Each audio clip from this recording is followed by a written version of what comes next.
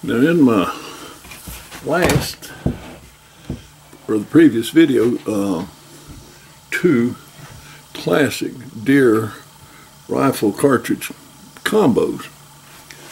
Uh, I did a little bit of shooting with the, uh, this Savage 99 that, that I've never had for 10 years and never shot. Well, when I, I fired a few rounds through it, and that was with a, let's call it a generic load, a load to, for Savage 99s that, that I've used for, in many, many, many, during all the years that I worked on Savage 99s. And uh, I had a, load that I worked up that worked good in virtually all of them. But in this particular rifle, that, that load's a little warm. That looks a little warm.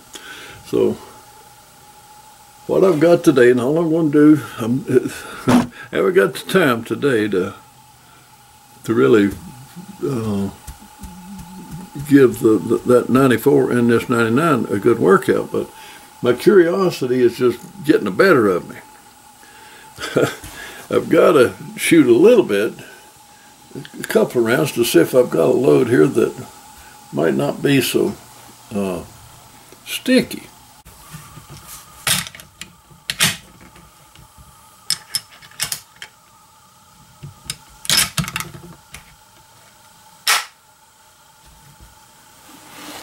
Hmm. Let's just see here.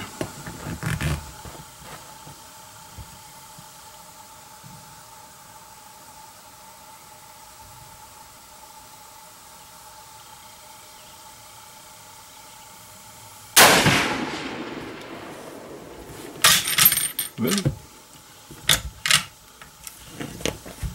that one certainly didn't. That one didn't even offer to stick. yeah, that one was almost perfect. Got a just a touch, inch and a half or so high, about 50 yards. So it's it's that one shot is real close to being perfect. Let's see where this one goes.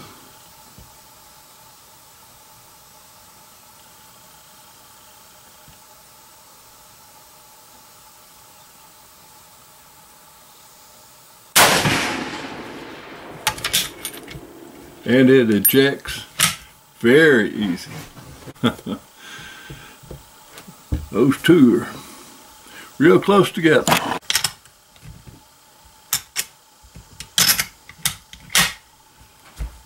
Third and final shot for the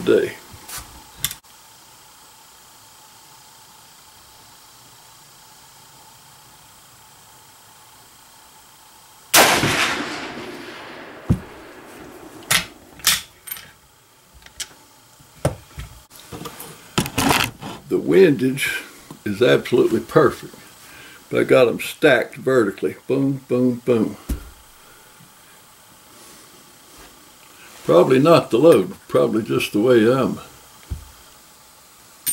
seeing things. But anyway, today's little session at the bench was great. They don't stick. well, as is often the case with me, I changed my mind. I was only going to fire those three shots today because I don't have a lot of time to devote to shooting or making a video today. I was just going to shoot those three shots, but ah, they satisfied my curiosity, the fact that the, the load that I picked, the, the the load that, this load that I just picked, it's, it's not hot at all. It ejects extremely easy. It's very, very good there.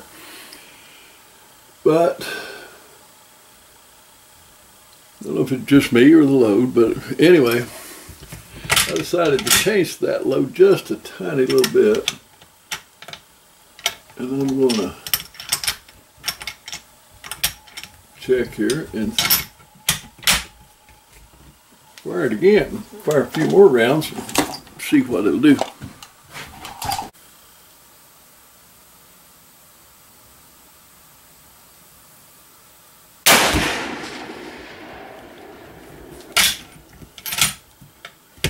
Still, I went up in the load, a little tiny, three tenths of a grain.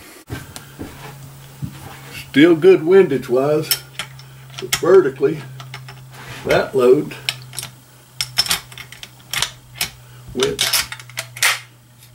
that bullet went a little bit higher than all of them, so they're, they're strung out straight up and down.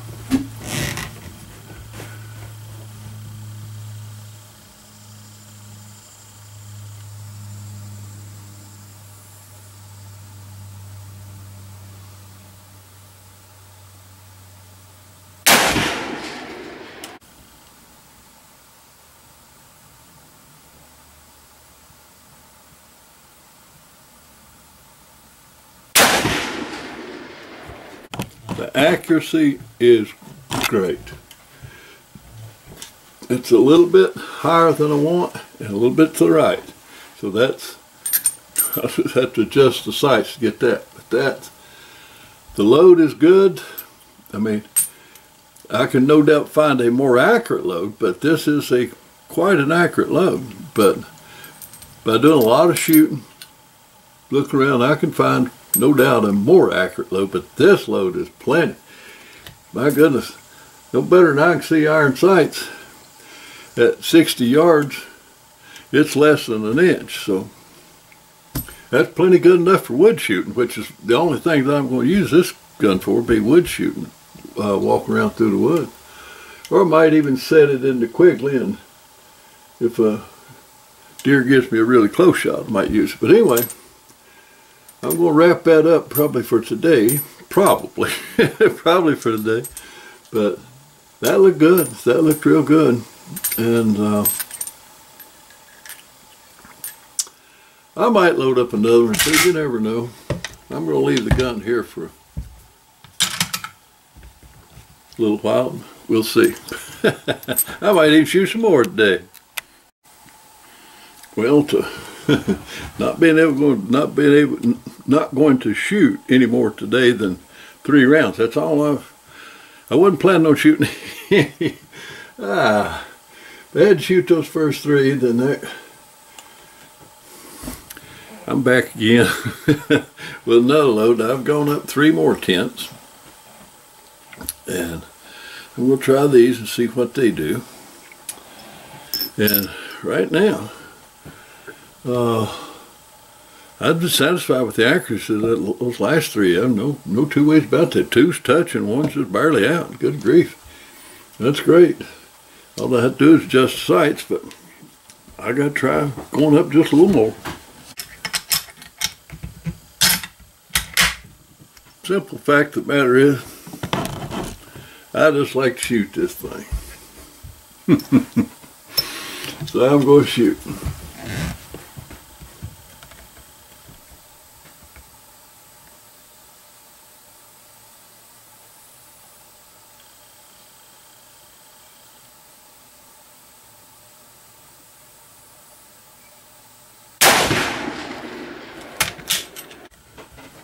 Be amazing what three tenths of a grain will do sometime.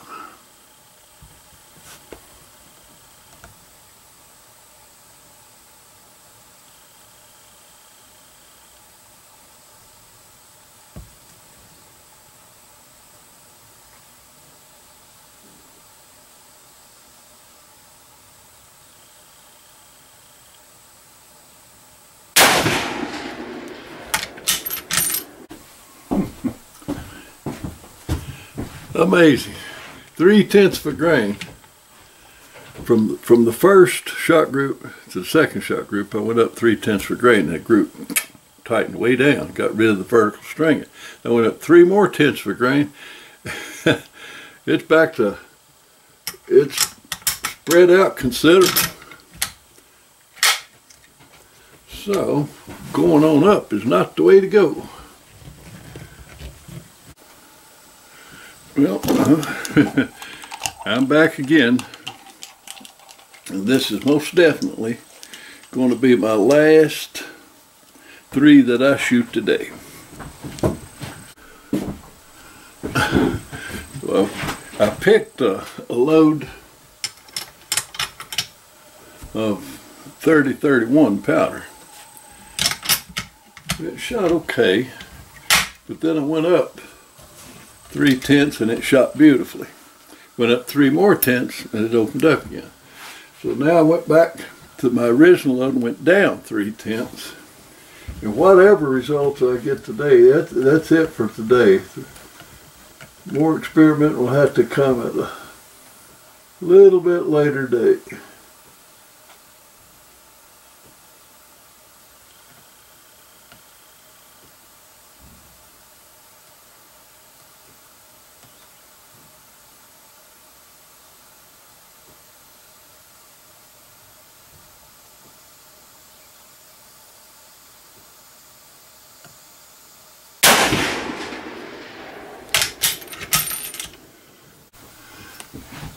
I have not worked on the trigger on this gun at all.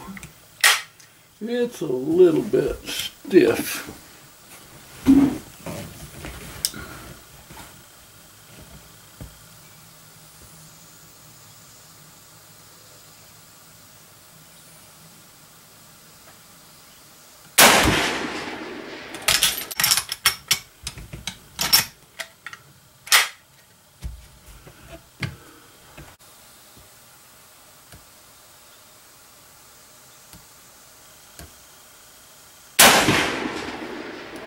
One of them shoots really good, so I've I have found really close to the accuracy, accuracy potential of this powder uh, bullet combination. Uh, so I'm going to let, let that rest. We'll get back to doing a little bit more experimenting with maybe, the, I mean, this load, one of these loads is, well, all of them actually are, are good enough for what I'm going to use it for, Woods gun, for heaven's sake plenty good enough, and one is is great looking. The the first three anyway look really good, but Lord knows how much experimenting I'll do before it's over. But that's it for today. Good grief, I have simply got to stop shooting today. I was only going to shoot three rounds all day, but we got company coming. And I've got to quit this shoot. Get ready for company. But curiosity can be rough. oh, here goes. I promise you this is going to be the final three for today.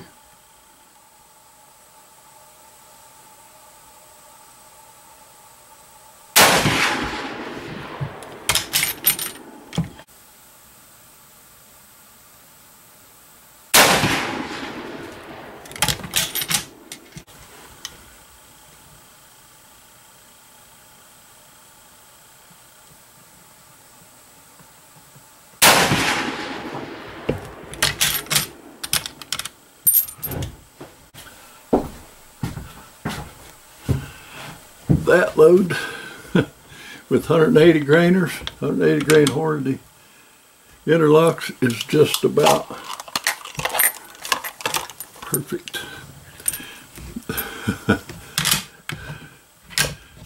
I could settle with that one and or that one that one that 165, but I'm going to try these again another day. I think I'm I think I've found me a, a load for this year. Well, it, it's the next day, and I'm going to do a, a bit more shooting, but this is the target from yesterday. And this is all the various uh, loads that I shot. That 300 Savage 99 EG. And I got two two good, two pretty good groups. This group right here, this circle group is one, two, and three. These three shots right here. That's with 165 grain Hornady bullet and 30-31 powder. And it shot good. It shot, shot real good. So I could be satisfied with that. Then I decided I'd try the 180 grain Hornady bullet. And there's two shots right here. These two. They're virtually in the same hole. One right here, one right here. Two. And the third one is right there. There's two here, one here. And they're an inch and a half high, which would be perfect at about 60, 65 yards.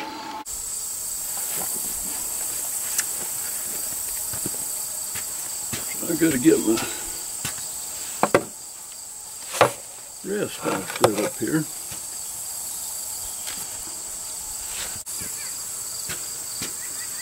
And my 99 300 Savage, 99 EG 300 Savage.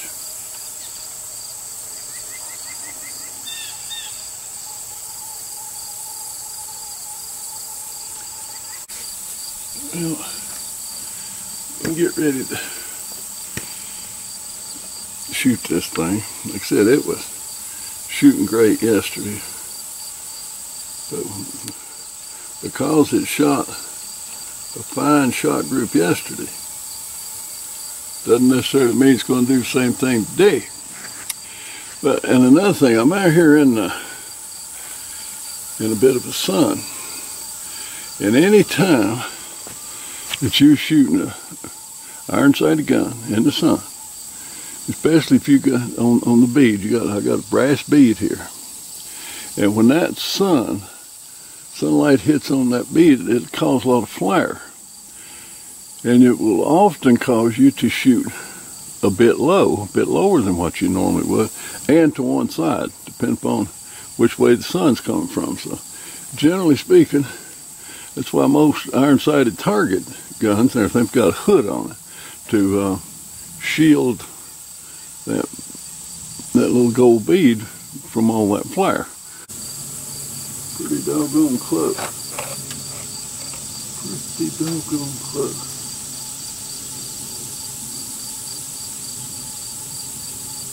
I can live with that.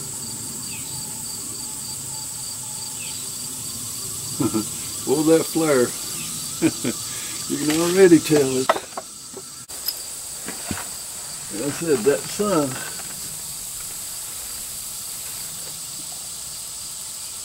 is really making a, a precise aim very difficult. For accuracy, I mean really accuracy, I may have to go back inside the barn and shoot where, where that front bead won't be in the sun, but I'm going to try try it there and we'll, we'll see what it does.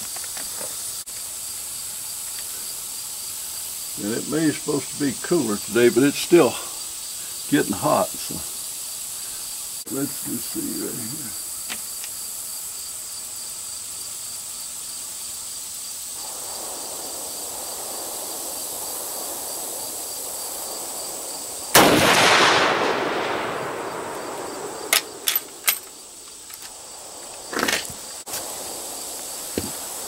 that was about the, roughly the right height, but off to the side, which don't surprise me a bit with that glare on that, that front bead.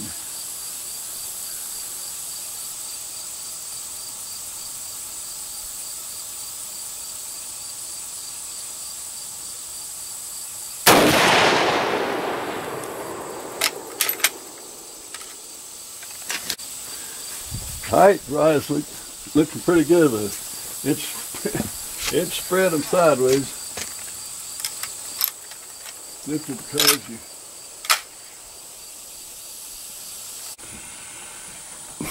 so uh, I had to move back inside the barn here uh, because of the flare, the sun flaring on that front bead, flaring on this front bead you classic. You you can't exactly see where you're where you're aiming because of the flare, and that will generally cause you to shoot both your windage and your elevation off.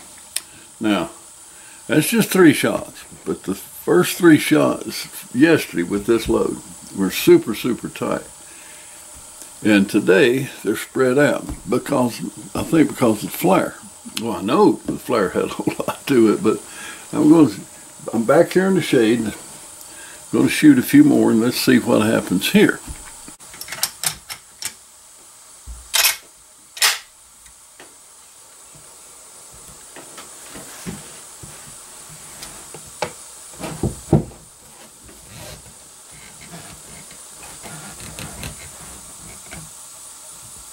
That is definitely a better aim. Better aiming situation.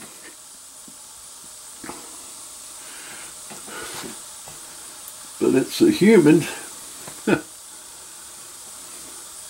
but these glasses are fogging up.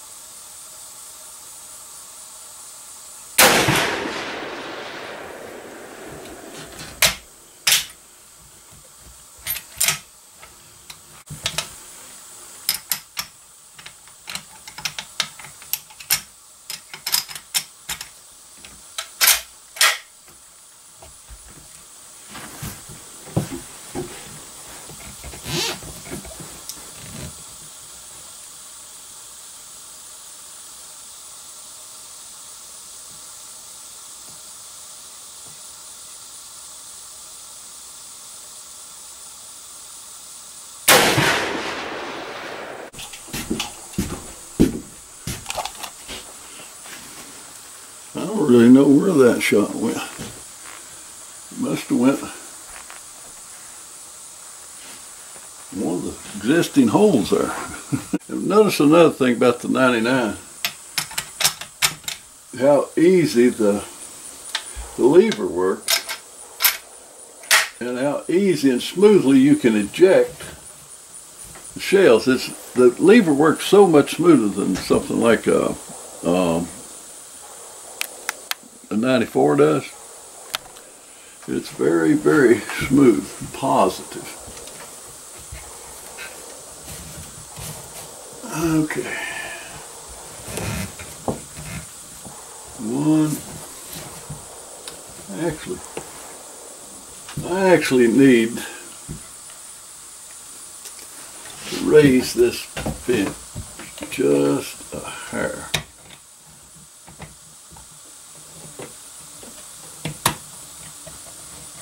Not much.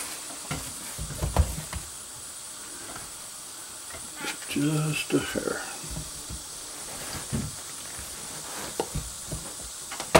See what that does now. Oh yeah.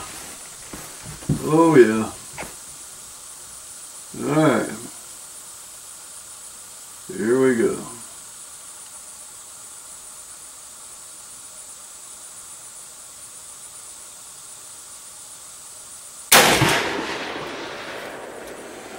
Now watch how smoothly and easily this thing ejects.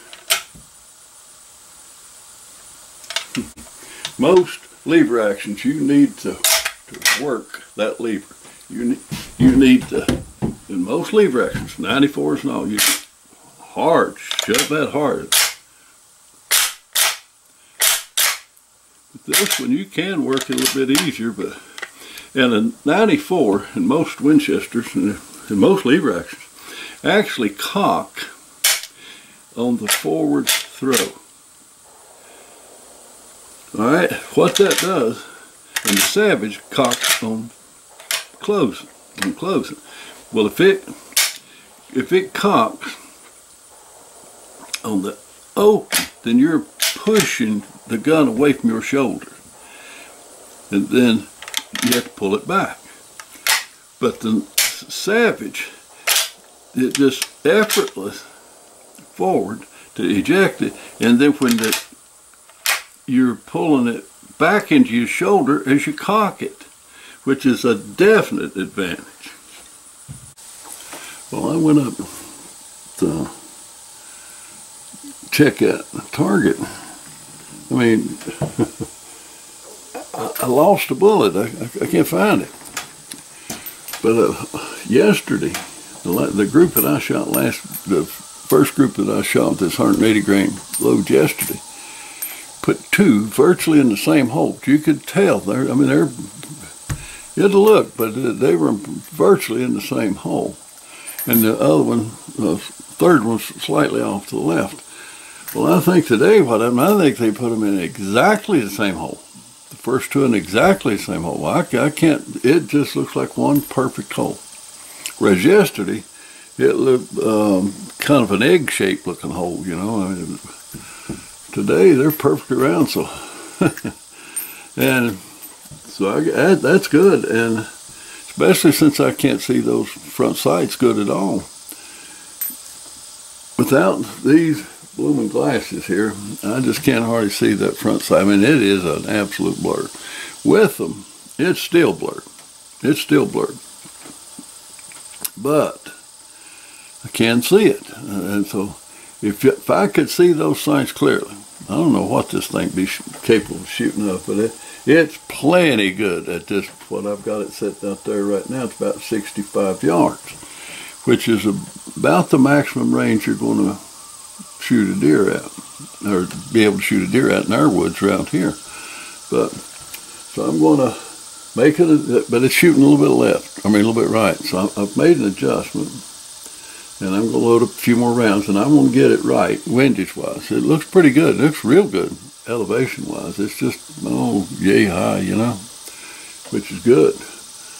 And then once I get that done, then I may move these targets on out to longer range. But my God, it, the temperature may be a little cooler today, but let me tell you, the humidity's up there. It is miserable hot. I am soaking wet with sweat.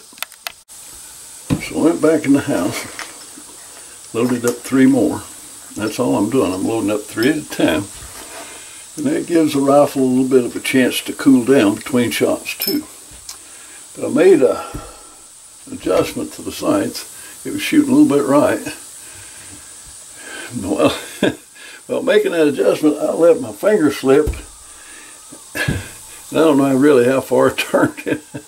I meant to turn it two clicks, and Lord, I don't know how I turned it.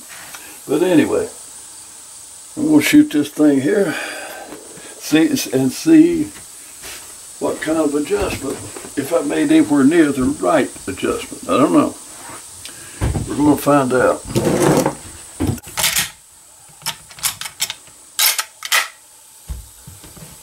Me look at those target one more time. Well, believe that last shot went close to where I wanted it, but one shot don't tell you much, so do a couple more here.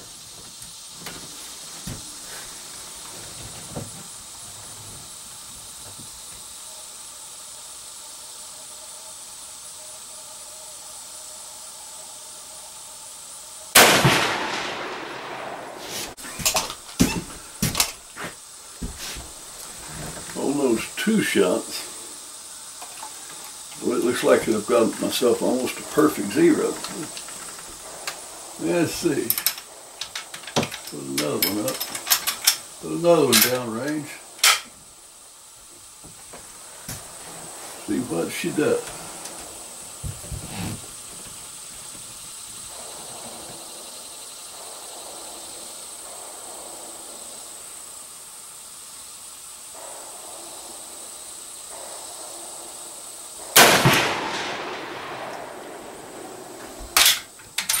I've set me a target up out there at 100 yards. And with this rifle, it's Savage 99 with peep sight on it, 180 grain bullet. It's, it's set up for wood shooting. And 60 yards, about the maximum distance going to be able to see a deer, you get a shot off and where I'll be hunting with it. And it's shooting less than one inch well less than one inch. No better than I can see the sights. oh goodness, we'll talk about that in a few minutes. But now I've moved it on out to 100 yards. And that's beyond the limits that I will probably be shooting this gun. But anyway, I'm going to just see where it's hitting at. Gosh, it's hot humid. Holy moly. Miserable hot.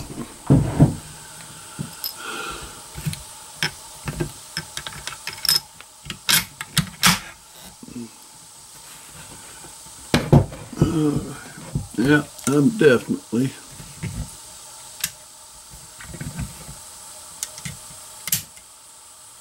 going to have to raise this from my wrist. the guy one time put a comment and he said, asked me to explain to him why in my videos it, it looked like I was shooting at birds, you know, shooting uphill all the time. And I said, it's because I am. I live in the mountains, honey, and it's it's just hilly country. We don't have flat land here. So I am always shooting slightly up or slightly downhill, but never at a steep enough angle to make any difference, any practical difference anyway. All right.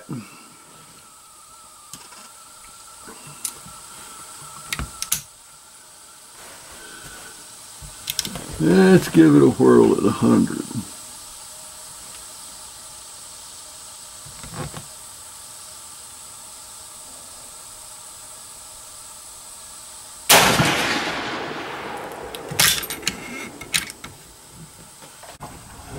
Let's see where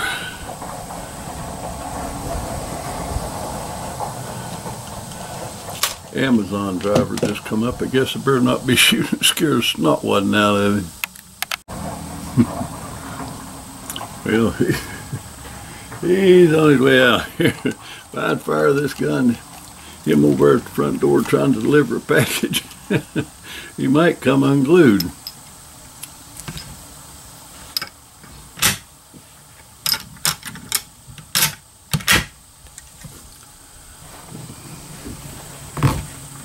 All right, let's see where this will go.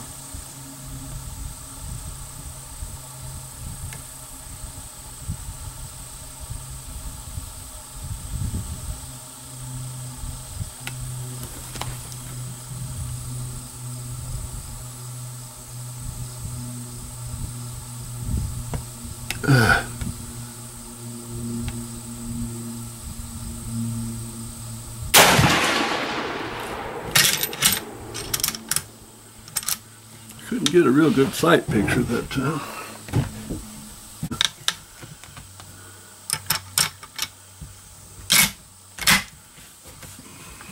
Man, I, ah, I just cannot see real good. No matter what I do, I don't see real good.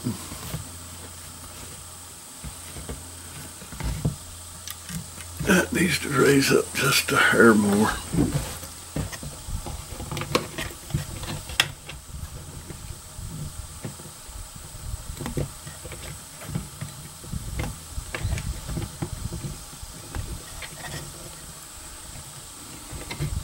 Amazing what a little bit of difference in the height of that front rest makes.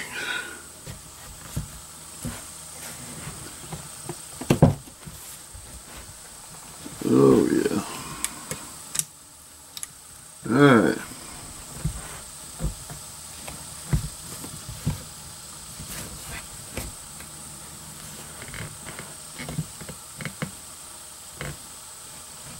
Well, I'll be done. What's going on here with my red?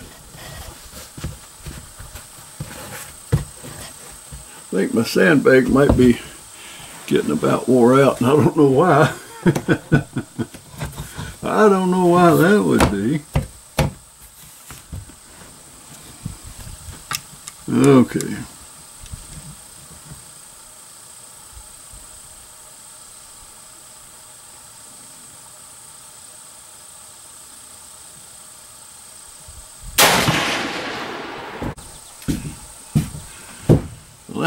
Load is pretty much dead on at 100 yards.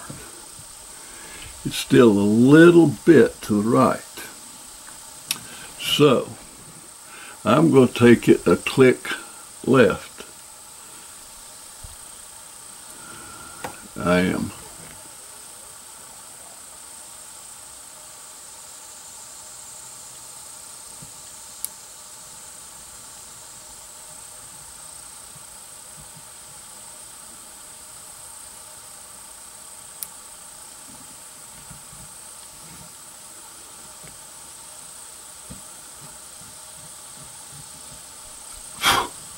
Two clicks left.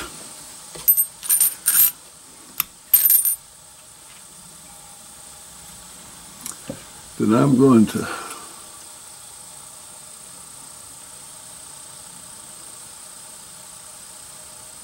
No, I'm not.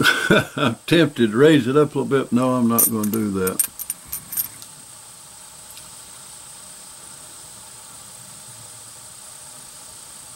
I could pretty much say I'm dead on 100 yards with that load.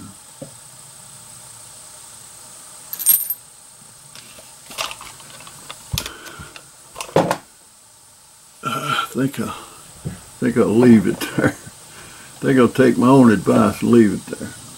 Shooting very good, very accurate. But I will go and load up three more and check my, since I made this sight adjustment, I'll load up a few more and check them and we'll see.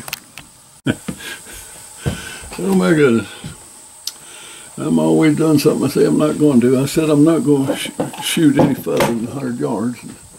Went in and loaded up three more. Come here, move, move the target back to 150 yards.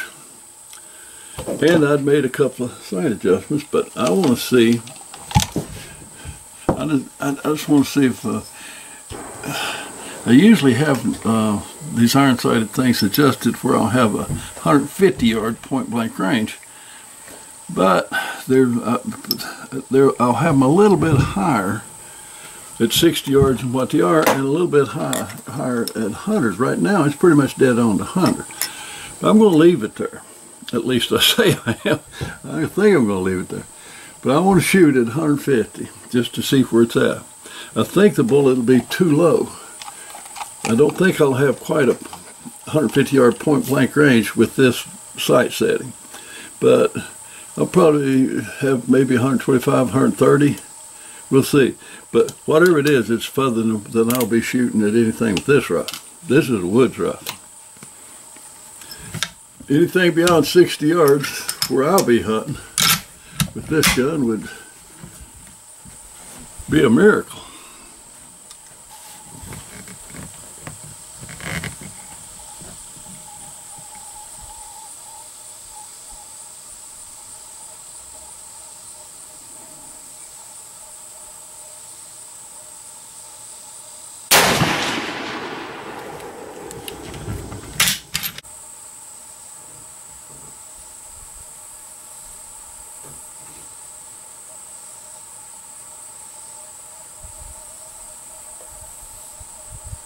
Ah, good.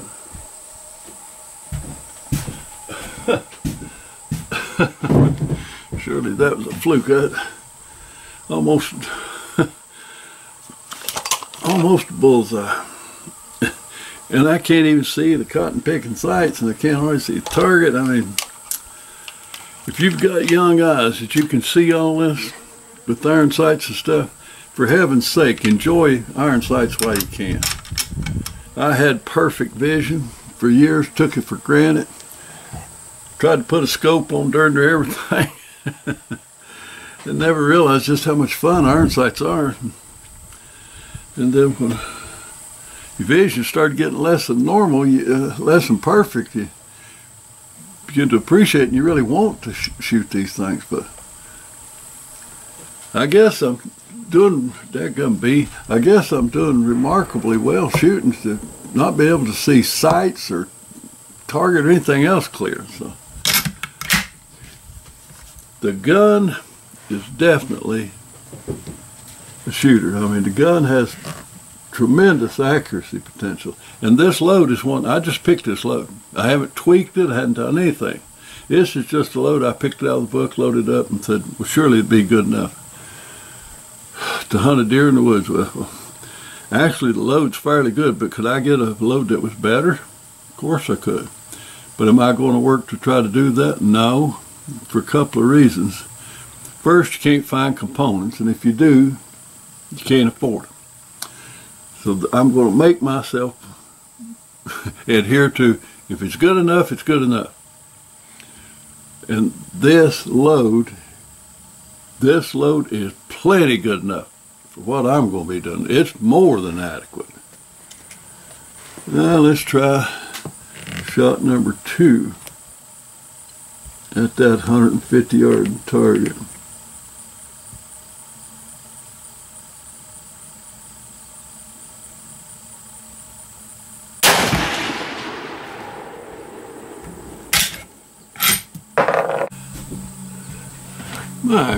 Goodness. oh boy. Those two are ridiculously. Uh,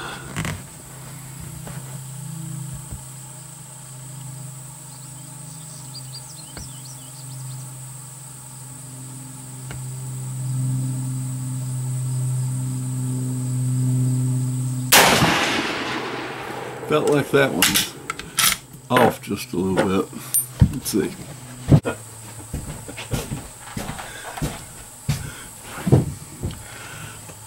It's a little bit left. a little bit left. Uh, just a hair left. Do you think I'm going to try to pull it back? I say I'm not. I'm not. I mean, I'm going to leave that cotton picking thing there. At 150 yards, that shot group is dead on elevation wise. And maybe it's less than an inch, less than an inch left at 150 yards. so at the, the distance that I expect to shoot a deer, it's going to be 60 yards, something like that. It, it's going to be a quarter, three eighths inch maybe left. I don't know, something like that maybe. And at 40 yards, it's going. You, you're not going to know. It, it's it's it's it's a good zero. Confounded, I'm going to leave it there. This rifle is a shooter. Now I mean it's a shooter. When I say that the Savage 99 is a rifle that balances like a fine over and under or side by side shotgun, shoots with the accuracy of a bolt action, yet it has the speed of a lever action and a smooth, incredibly smooth lever action.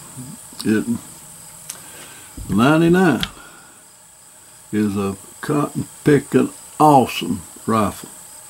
If you don't own one, you've never shot one, you owe it yourself to, to give it a try. It, it, it's a fabulous rifle. I can't sing its praises enough. Just a wonderful rifle. yeah, boy. My goodness. With, with the scarcity of ammo and everything that I've got right now, I'm going to leave that thing alone. I think.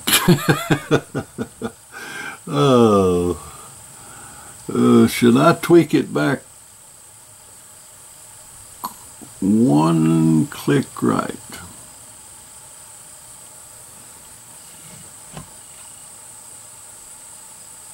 Should I? Can I get that thing one click right?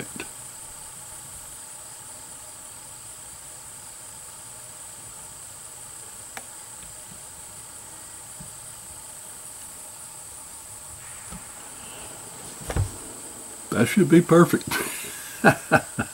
I'm going to leave it there though.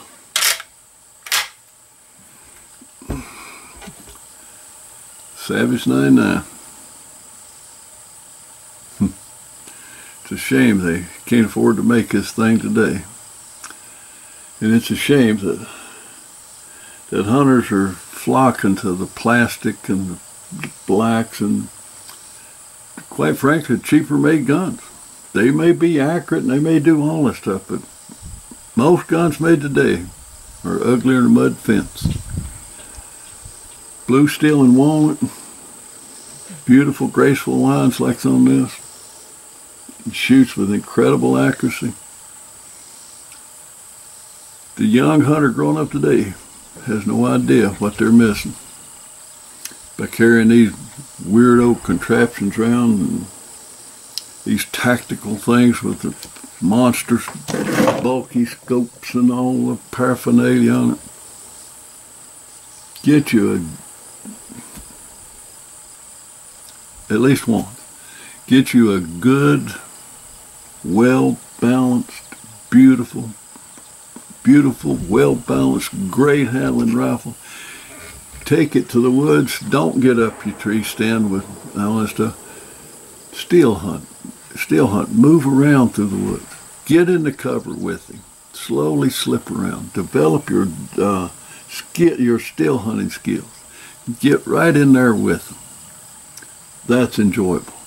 And while you're doing it, you're carrying a beautiful rifle that you will thoroughly enjoy carrying. Savage 9 now. I got to thank my brother Doug for turning me on to these things. And I sure am glad I kept this one and didn't sell it. it too is a shooter. Great rifle. And now I'm going to fire a few rounds through the old 30-30, Winchester 94. There again, I'm going back to 60 yards.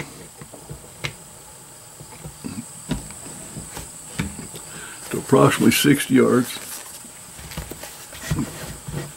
And I'm going to shoot the, my hand loads first, which are same same loads uh, that Diane used to take her elk with.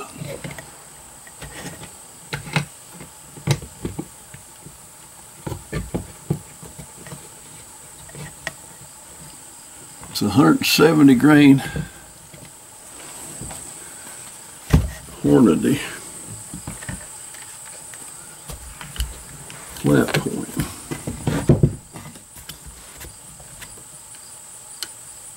That'll be about right. To be shooting the Hornady 170 grain flat point hand. And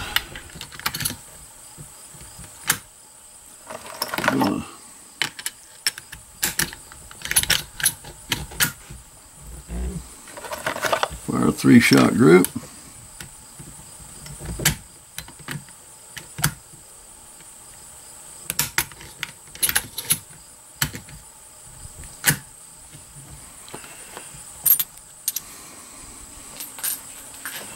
And see what it does.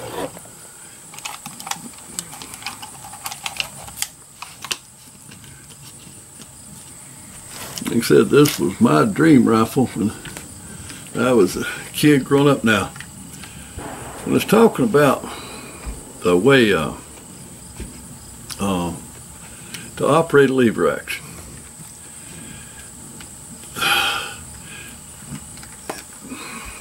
The 94, when you operate, it drops down. The whole mechanism here, this drops down and then your pivoting begins. So it's kind of a, a two-stage deal, and it's never as smooth as the 99. It can't be by its design. But you also, it just, it doesn't feed as smoothly or eject as smoothly as the 99. But any lever action, including the 99, the biggest mistake that most people make is they don't operate it fast enough. You want to throw that thing hard forward, hard back. It will feed, and eject. But if you lollygag around, you drag it forward and drag it back, you're going to experience feeding problems. So operate that lever with some authority. And in any lever action, don't, let me put that thing down here on safe a minute. Don't grip it, don't take a death grip like that. Put your thumb over the top. Don't take it like you shoot shaking hands or something. You want to, and most people take a hard grip sideways here and a hard grip here, but when you pull it up, there's all kinds of strain. Don't do that with any rifle, but particularly if you're going to shoot these lever actions. Take this forward hand and turn it forward. Turn your hand, point your hand, particularly your index finger, which is right under the rifle, right at your target. Take this hand, pull your hand up, put two fingers in the lever, two fingers. Third little little finger out, two fingers in, and it'll lay your thumb along the side. Along the side. I'll show you in a second how that uh, uh, allows you to operate that lever very quickly and very smoothly. Right now we're going to just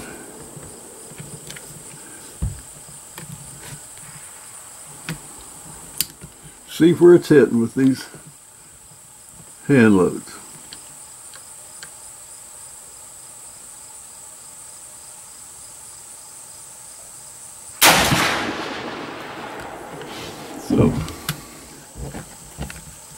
Take a look. That's just about dead on at 60, 65 yards, which is exactly where I had it. For Diane to take that out, because I knew we weren't going to be shooting over that distance, because she's going to be walking around shooting offhand. So it's at 60 yards, and that's perfect. Now, operate that lever. See how, even though I'm going to operate it quickly, see how it's stuck Savage 99 don't do that. I mean, it's just so smooth, but these, not only do you push them forward, you actually need to pull down and forward. Then quickly. Operate it with some authority. But the 99s, I mean the 94s, much as I love it, it is not as smooth as the 99, not by a long shot. But does it carry beautifully? Is it beautiful, right? Yes, sir, I love it. But apples are apples and oranges oranges are I love this little rifle. I love this little 99 or 94, even though it is not as smooth as the 99. It is a still a fabulous deer rifle.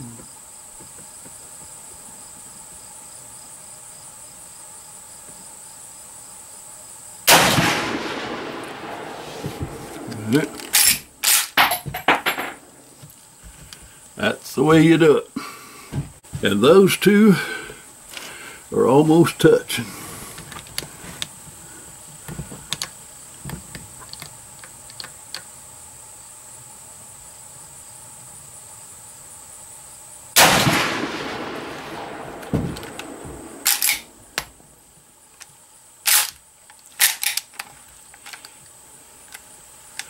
Well, that action drops down and pivots.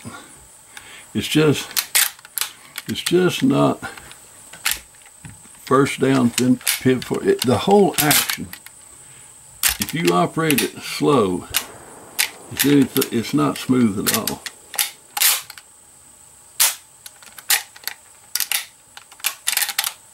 It's a bit jerky compared to the 99.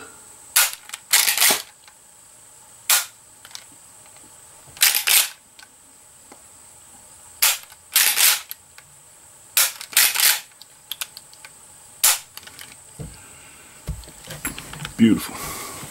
Let me see where that third went.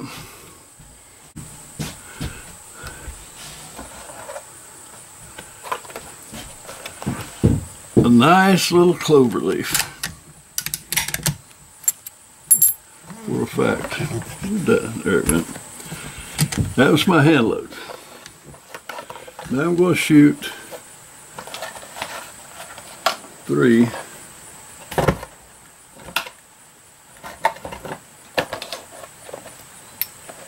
Remington Core-Lokt. We'll shoot the Remington Core-Lokt round nose instead of the Hornady. These are uh, 170 grain round nose.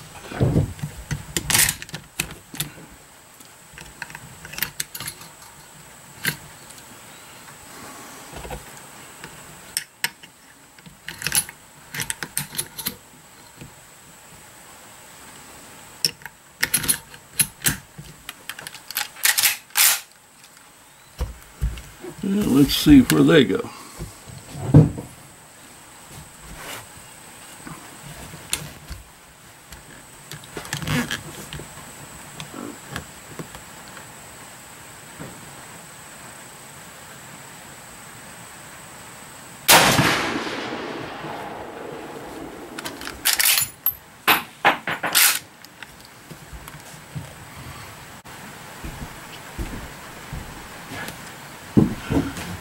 point of impact certainly changed. Let's see what about the accuracy.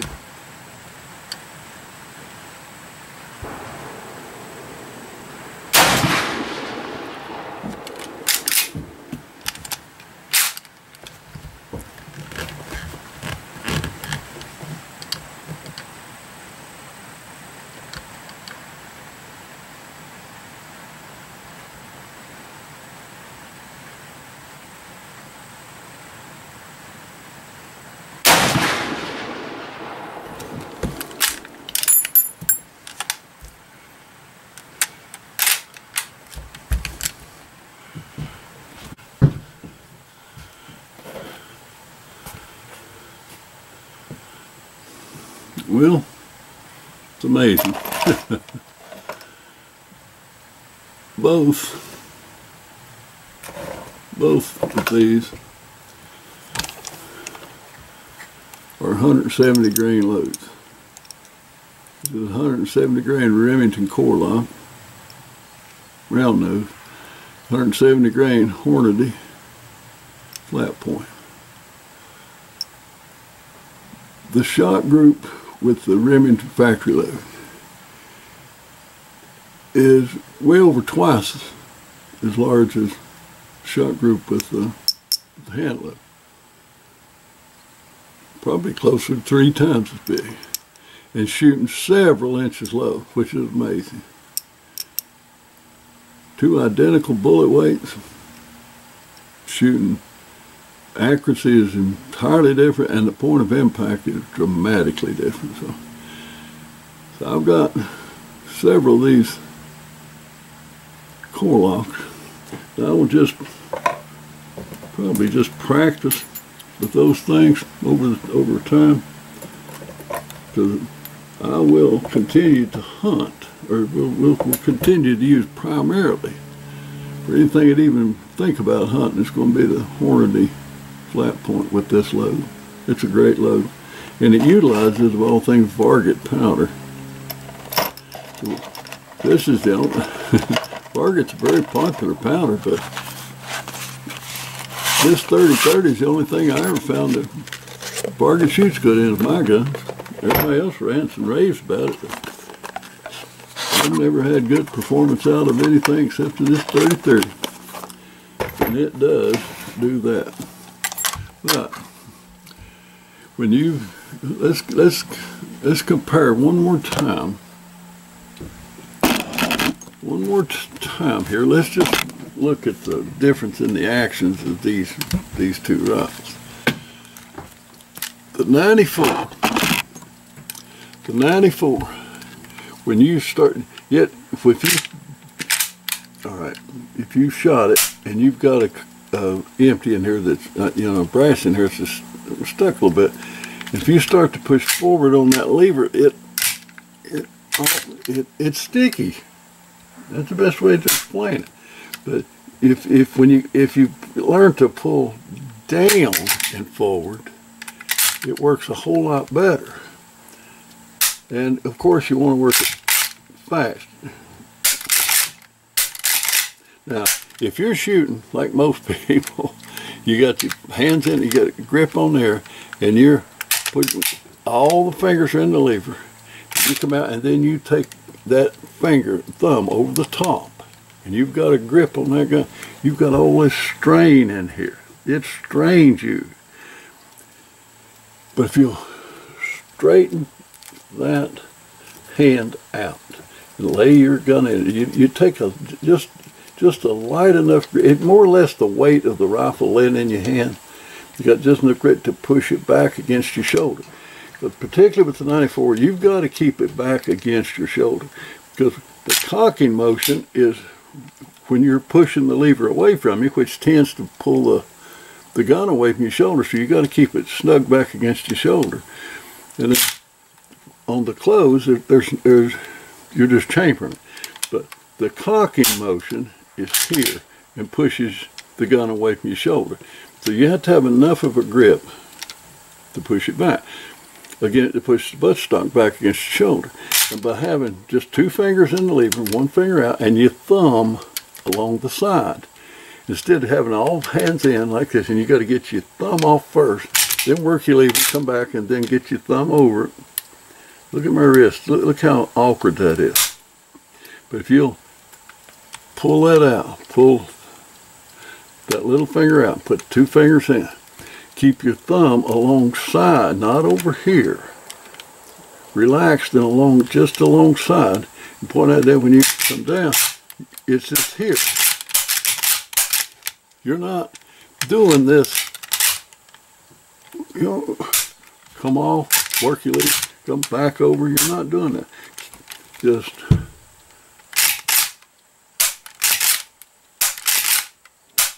that's all there is to it.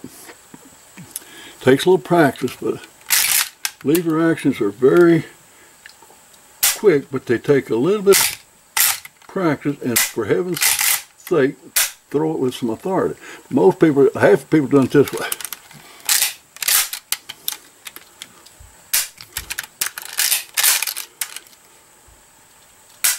How awkward. Two fingers in the lever. This hand the forehand hand, you're pointing forward with it just laying in there and your index finger pretty much pointing towards your target. Have your thumb and your index finger on the shooting hand, everything's pointing toward your target relaxed. You've got a relaxed grip on your gun. And your thumb outside here, just laying alongside, to where when you pull down, you come back, you can pull the trigger. You don't have to go this extra step here. That's it. That's it. That's it. Works real good. Just a, little tip there. But that, like I said, as you notice, when you break the lever down, all this, the whole bottom section drops down. And then the pivoting action starts See this? Then it starts to pivot and work your bolt. It's, it's got a little bit of an awkward movement.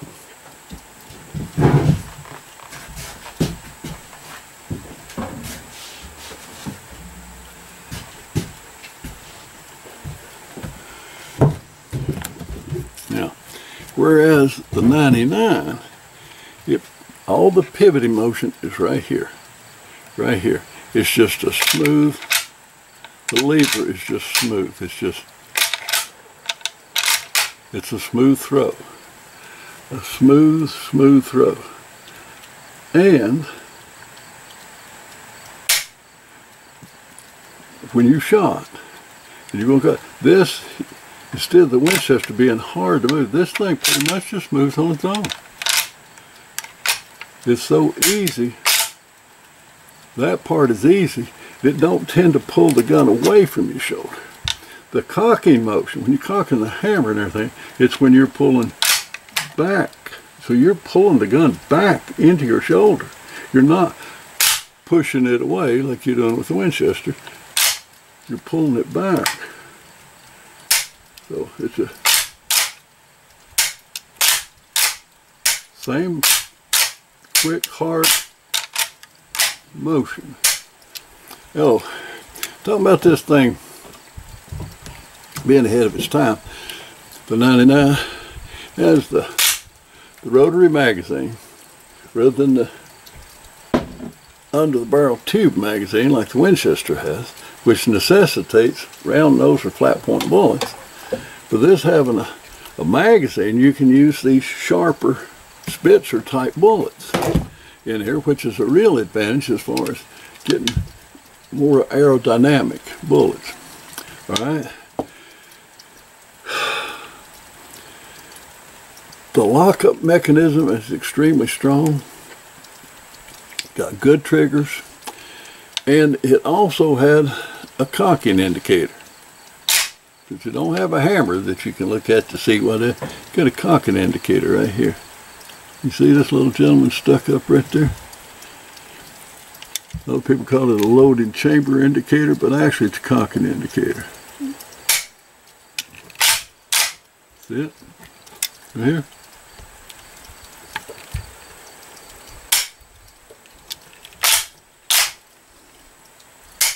But irregardless, whether either, whichever one you're using, use that lever with authority.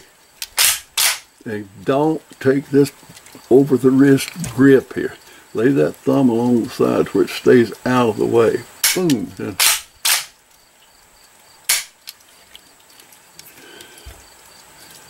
Whatever.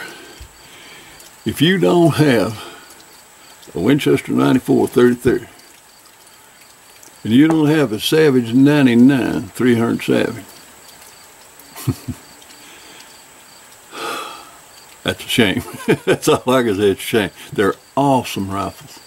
Absolutely awesome rifles. And I've enjoyed shooting them. Getting out here, even though it's hot as a firecracker. I've got good results with both of them. Yeah, Specialist 99. Goodness gracious. I mean, I'll I'll recover the targets and I'll show you the targets, but it it's amazing. It's absolutely amazing. So I'll go out there and get the targets, come back in, we'll talk about that in a minute. Let me just state again the fact that I cannot see iron sights clearly. I can't do it. Uh, when I was younger, I had perfect vision. I could see the rear sight, front sight, and the target plane. Uh, I can't do that anymore. And it would be nice if I could see those sights. I mean, I can see it, but it's blurred. It's extremely blurred. But when you're shooting peep sights like I was doing on both these rifles, I'm shooting peep sights on both of them. Uh,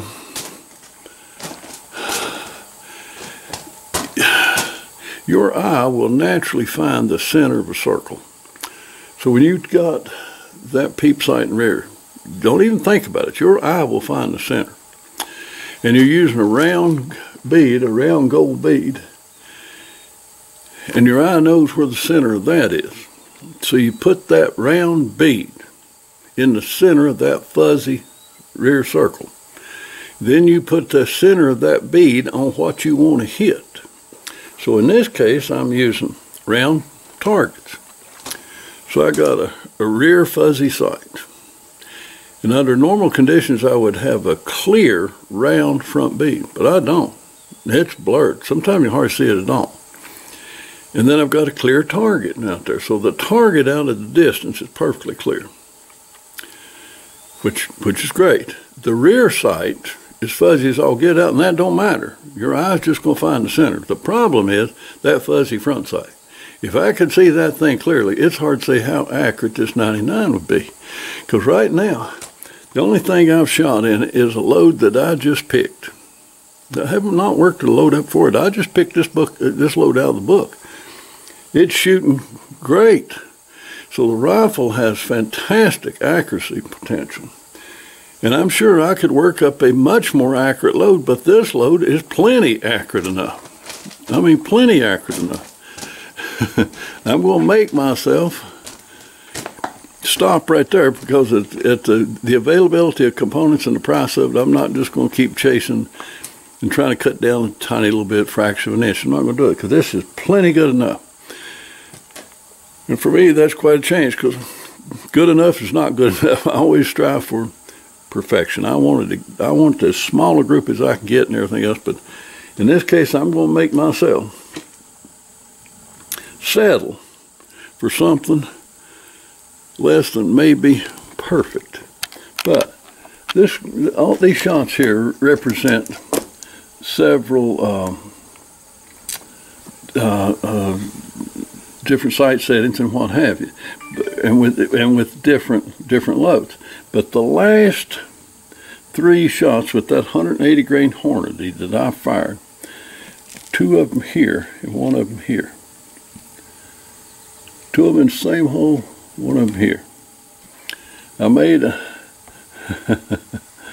oh, that, that, that's good. And then, that's at 100 yards. Did I move, I mean, that's at 60 yards, all right? 60, 65 yards. Then I moved out to 100 yards. And I shot this. There's my cartridge. Shot that at 100 yards. Like I said, I cannot see the cotton picking sights. The first two was here. First two was here, and then I said that I could not, I was having a heck of a time with that one sight picture, and that was this one. It out. Anyway, that's at 100 yards. You see, that's a nice, nice small little group. And then I moved out, I made a sight adjustment and moved out to 150 yards. This is 150 yards. Look at that. That's at 150 yards. Iron sights that I can't even see. uh, and that's plenty good enough accurate. If you can see the sights, this thing is plenty accurate enough. So if this is at 150 yards, and we're going to take the extreme spread on it, 150 yards is one and seven eighths inches. It's one and seven eighths inches. So say one and three quarter. Let's write it one and three quarter. At 60 yards, it's going to be half of that. One and three quarter. At half, it's going to be half that. It's going to be about a seven eighths of an inch group at the normal distance that I'll be shooting a deer with. I'm going to leave it there. It's pretty much dead on at 100 yards. And I made a, uh, by the way, I did make another sight jump. I moved it one click right, so I don't know if it will be. This one, I moved from here, moved two clicks, two clicks, and it went to here. It went to here. So I move one click back. So it should be pretty much, pretty much in the center. I'll try that before for the season, I'll fire it again. But for right now, I'm going to quit. I'm going to quit at that. Uh, that is plenty good enough. Then, with 30-30, again at that 60 yards, I'm aiming here. Nice tight little group. This is with the hand loads, and this is the Core-Lokts. I will stay with the hand loads. And that's pretty much just exactly like I had it zeroed 12 years ago when Diane got her elk with it. it's the same, shooting the same, same bullet, same load, same everything. Same everything. 60 yards was going to be the maximum. So that's what it's zeroed for. so it's shooting very, very good.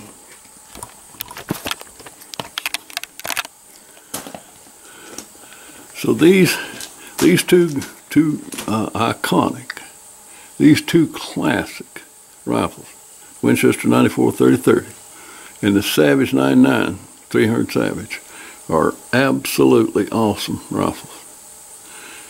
They were in the their, their, their heyday. They still are today, and they still will be many years from now. They're awesome guns.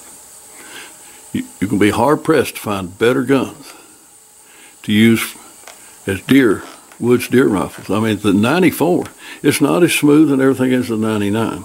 It doesn't have the power that the 99 and the 300 Savage has got. But It's short, it's handy, it balances beautiful, it carries like a dream. It operates slick and fast and has plenty of accuracy and plenty of power for hunting any deer or black bear in under woods conditions. They're just great, hard to beat guns. Then the 99, with that slick, strong action and its ability to shoot aerodynamic bullets, the great balance, the great bolt action accuracy, the speed of a lever action is just an awesome gun. So it'll be around for a long time. It's a great, great, great gun. So if you have the opportunity to shoot one or buy one, for heaven's sake, get it. They're just simply great. They're fabulous, iconic, American deer woods deer cartridges, rifle combos. They're absolutely great. So do yourself a favor and check into them. And we will talk soon about that.